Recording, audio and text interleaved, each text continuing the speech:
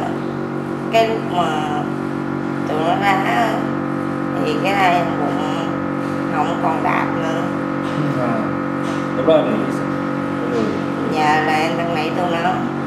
Thả em về là tụi nó thả kêu em phải dụ anh em lên đưa cho tụi nó 10 triệu tụi nó mới cho. Và đánh em bằng như vậy nhà cây. Cây như thế nào mà vậy? Và cây sắt. Ngoài cái sắt ra còn cây gì nữa không? Và cây gỗ. Với là xà bông xà bông. Hả? vong hả?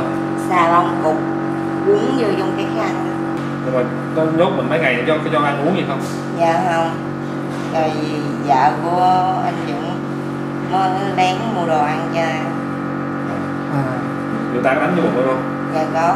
Đánh vô bụng bằng cái gì? Và lấy chân đá. Ai đá? Và Dũng. Còn bà Huyền đánh em bằng. Cái gì và Huyền lấy dây xích.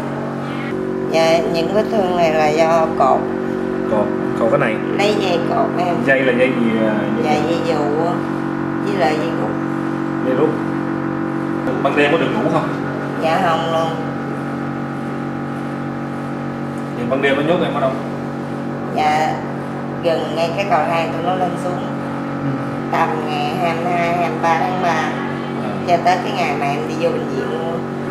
Nhà khỏe đỡ. Dạ. Bây giờ mong muốn của em như thế nào nhà em mong công an bắt nó rồi xử lý cho có trong nhà người ta có chơi hành đá ma túy hút chích em thấy không? Nhà có. Nhà người ta có chơi gì? Nhà hàng đá. Hành đá em có thấy không? dạ